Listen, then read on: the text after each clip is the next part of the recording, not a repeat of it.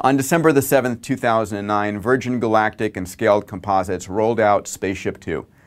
Literally five years after the winning Ansari X Prize flight that carried the Virgin logo right next to the Ansari X Prize logo, there is a commercial company that's invested a quarter of a billion dollars to take this technology and commercialize it, which means making rides available to you and me.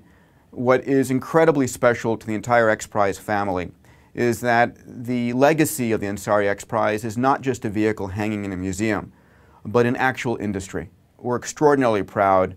We give our thanks and congratulations to Burt Rutan, uh, to uh, Richard Branson, to the entire Virgin and Scale team for what they've done.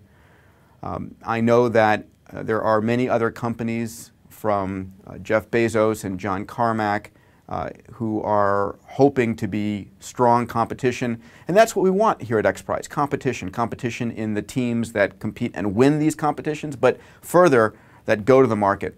Ultimately, you and I are going to be the major beneficiaries. While the ticket price today is $200,000, we will see it coming down rapidly over the years to the price eventually of an expensive car. You know, $50,000 is not unreasonable for a suborbital ticket in seven or 10 years' time. And of course, the real goal is getting tens of thousands of people into space. Building a marketplace that will then drive eventually orbital flights and then get us to the moon, Mars, and beyond. So congratulations to the Virgin team, and uh, looking forward to seeing you floating around on one of those vehicles as well.